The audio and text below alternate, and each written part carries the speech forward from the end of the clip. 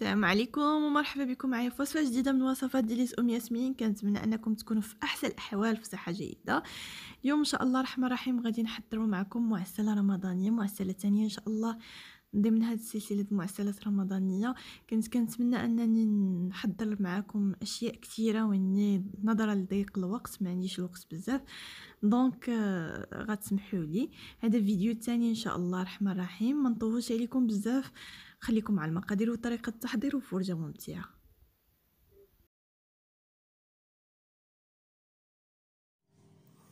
ونبداو بسم الله.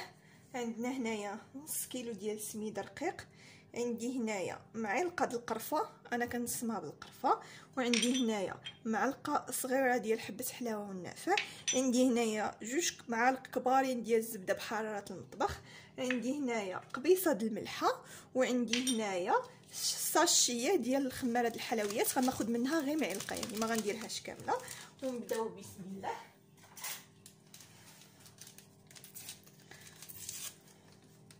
غادي ندير بعدا الأول القرفة ديالي. وغادي ندير ديك قبيصه د الملحة.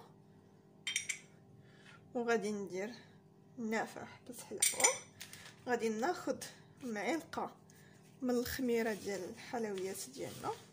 تحاولوا ما ديروش الشاصيه بزاف باش ما يتنفخوا لكم شوية يطرطقوا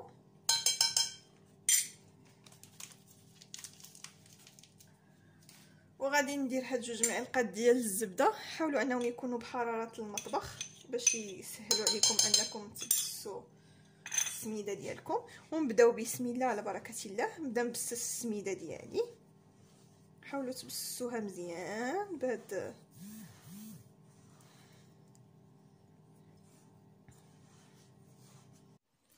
وهنايا من بعد ما بسست السميدة ديالي مزيان حاولوا أنكم تبسسوها مزيان. غادي نخليها ترتاح واحد الساعتين ديال المكانة أو ثلاثة سوايع وهي كل ما خليتوها ترتاح كل ما كان مزيان. خليوها ترتاح مزيان. وديك الساعة نرجع لكم إن شاء الله باقي التفاصيل. بون هنايا عندي 350 غرام ديال التمر. أنا درت عيني ميزاني وصافي مهم.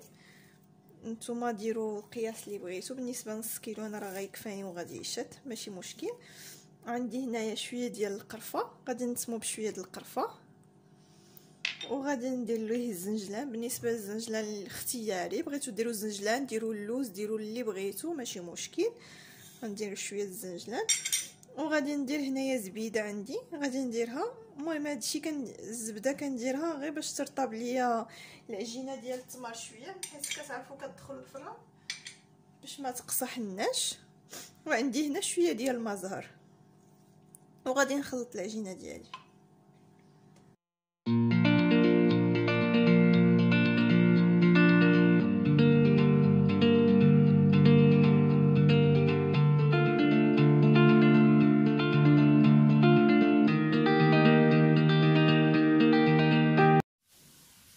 وهنايا كنبداو نعجنو داك السميدة ديالنا.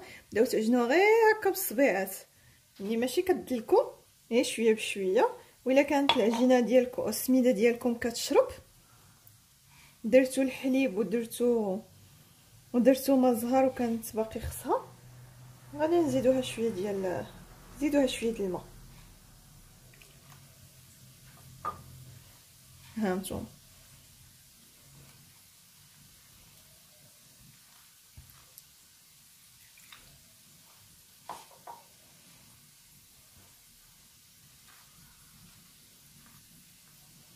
غادي نزيدها يمكن شوية الماء.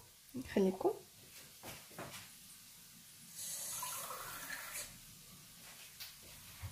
ها نتوما كاس العنبه ما عمرش. وغادي نقول لكم شحال غنزيد لها الماء.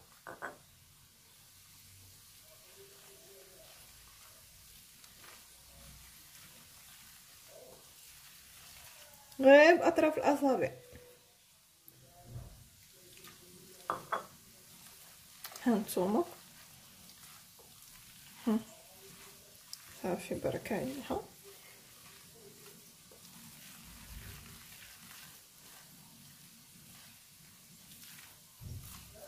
ها نتوما كتشوفوا شفتوا شفتوا العجينة ديالنا كي دايرة؟ بحال هكا.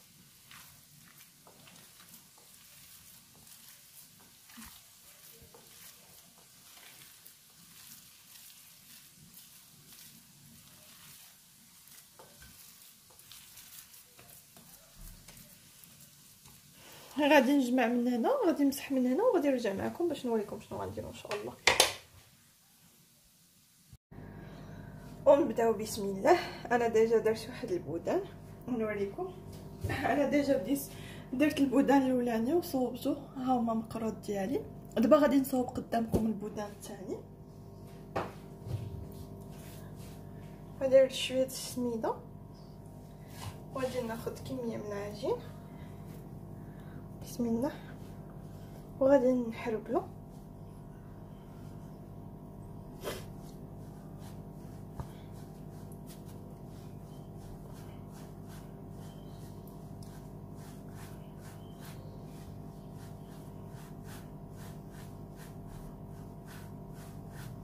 صدقوني هذا المقرط كيجي فتي ولذيذ وطيبوه في الفران ما تقليو قليوه في الزيت إلا بغيتو mais أحسن. كلشي مقلي شباكية مقلية بريوات مقليين كلشي مقلي. donc أنا بالنسبة لي عن ليا أنا كنفضل أنه يكون أنه يكون أنه يكون في الفران. ها هو boudin ديالي. ها أنا صوبته. غادي نجي ندير له هنايا في الوسط بحال الساقية. هانتوما بحال الساقية. فين غندير التمر ديالي في الوسط ها انتما وكناخذ هذاك البودان ديالي ديال التمر التمر اللي حربلت ديجا وكندير التميره ديالي هنايا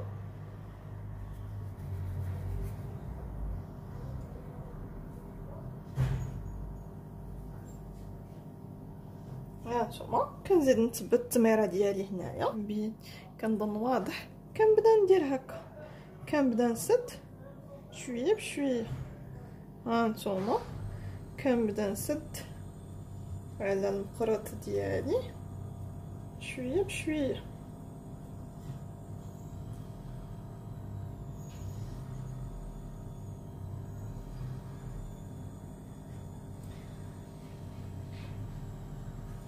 كندير شوية السميده كرش شوية السميده وكنبدا نقاد. المقروط ديالي. تنبدا نحربلو هكا. ديروا شوية السميدة باش ما يلصق لكمش فوق بلون دو طرافاي هانتوما. وكنبدا نقاد الحربول ديالي.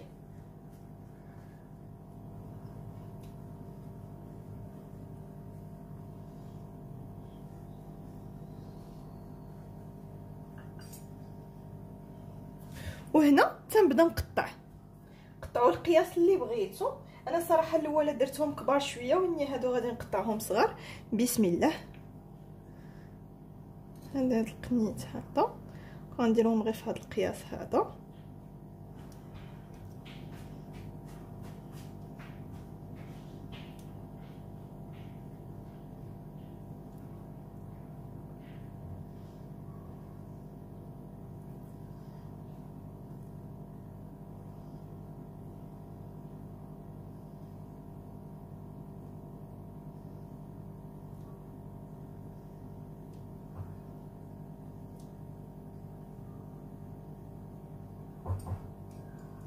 شتي هاد العجينة راه كتصلح. واخا ما عندك لا تمر لا حتى شي حاجة بإمكانك. هادي غادي نحيدو لها شوية ديال التمر من هنا وغادي نردوها نخدمو بها بإمكانك انك أنكم تقطعوها غير هكا مع ديك القرفة وحبة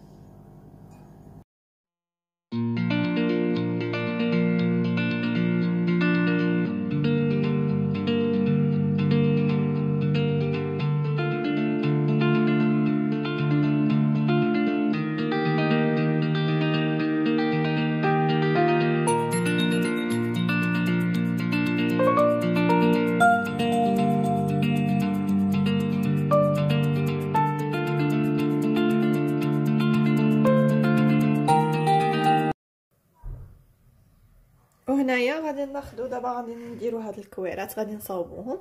غادي ناخد هادو كويرات دايرة فيهم 8 غرام 7 غرام حتى 8 غرام. وغادي ناخد كويرة. تفوتوش فيهم بجوج بهم 30 غرام.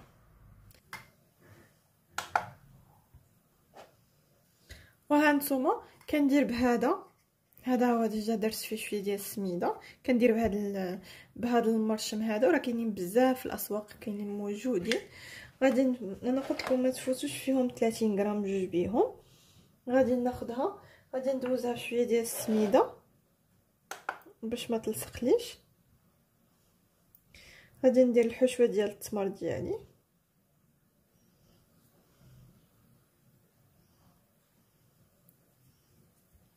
غادي نحاول نكورها وغادي ندورها في السميدة مزيان باش ما تلصقش باش ما يلصقش عليها المرشة. وغادي نديرو نطبع مزيان. وغادي نحاول نبطو هانتوما شتي سهله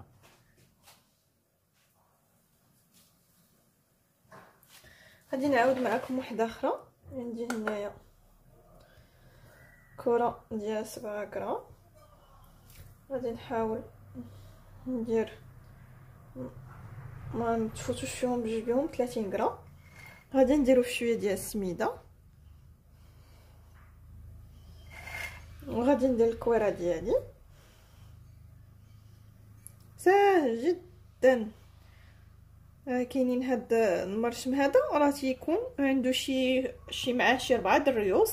وكاينين دايرين كاينين بأشكال عديدة واللي بغى يشريه زوين كندير به حتى الحلوة ديال التمر العادية نيت كنكورو كويره ديالنا هكا. وكنديرو الطابع ديالنا بحال هكا. وكنحاولوا نحيدو بشوية. وها هي الحليوة ديالنا. كنتمنى أنه يكون قد الجنيبات هكا شوية.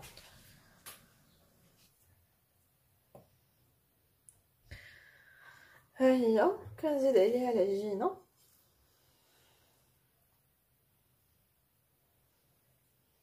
وأنا قلت لكم ما تحاولوش تفوتوا فيهم بجوج بيهم 30 غرام واللي ما عندوش ميزان يدير عينيه ميزانه.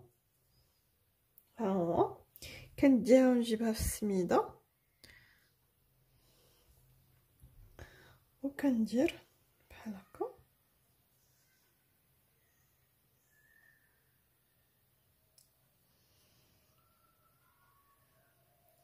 كنديرها هكا في السميدة غير باش ما تلصقليش على الطابع ديالي. الطابع ديال الفيديو كنديرو بحال هكا تدويزة تدويزة ديروه في السميدة. كنديرو بحال هاد الطريقة هادي. وها هو المقروط ديالي. شفتوا ساهلة.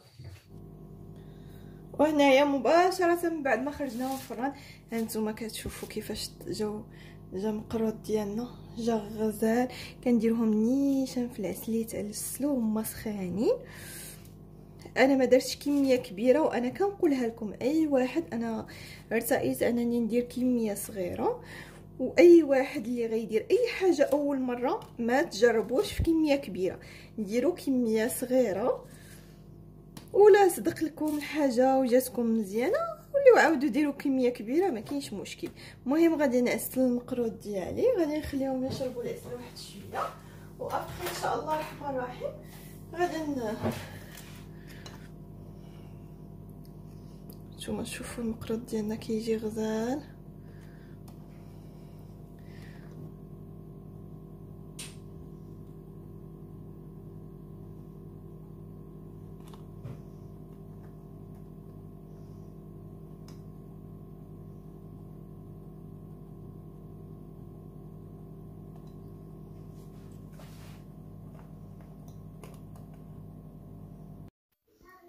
وهذا هو المقروط ديالي من بعد ما ما عسلته قدمته بهذه الطريقة. كيجي لذيذ كنتمنى أنكم تكونوا استفدتوا من الفيديو ان الوصفة عجبتكم. وبالنسبة لطريقه الطهي ما ما ذكرت لكمش طريقة الطهي. كنطيبوه في الفران على 180 درجة. حاولوا ما تخليوش يطيب بزاف. إلا فات فيه الطياب كيبس. مهم. كنتمنى أنكم تكونوا استفدتوا من الفيديو ما تنساوش إلى عجبكم الفيديو ديروا اشتراك. ديروا تخليوا لي اشتراك وتخليوا لي لايك باش تشجعوني أنني ندير أكثر وأكثر. دمتم في رعاية الله والسلام عليكم ورحمة الله تعالى وبركاته.